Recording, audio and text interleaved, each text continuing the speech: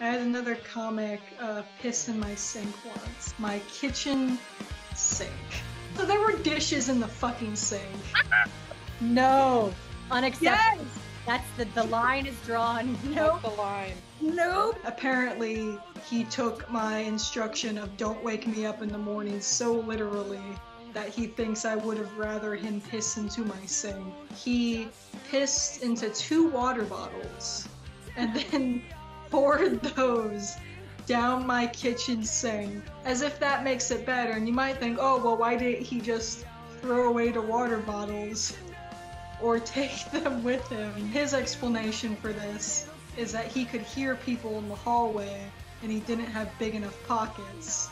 So he didn't want to be seen. Even if someone saw him with the piss bottles, like what are they gonna do? Call the cops? He also didn't want to just throw away the water bottles because then I, I would see them. He told me about it three days later. I would not have known. Okay, so there was two water bottles. That means he filled up one of them and then filled up the other one. So where was his dick between those water bottles? Yes. Where was the Where was the stream going? Do we believe he has enough control? I agree. Like you didn't have enough control to hold it, but you have enough control to just stop Midstream? midstream. Midstream? A lot of Yeah. That's fishy.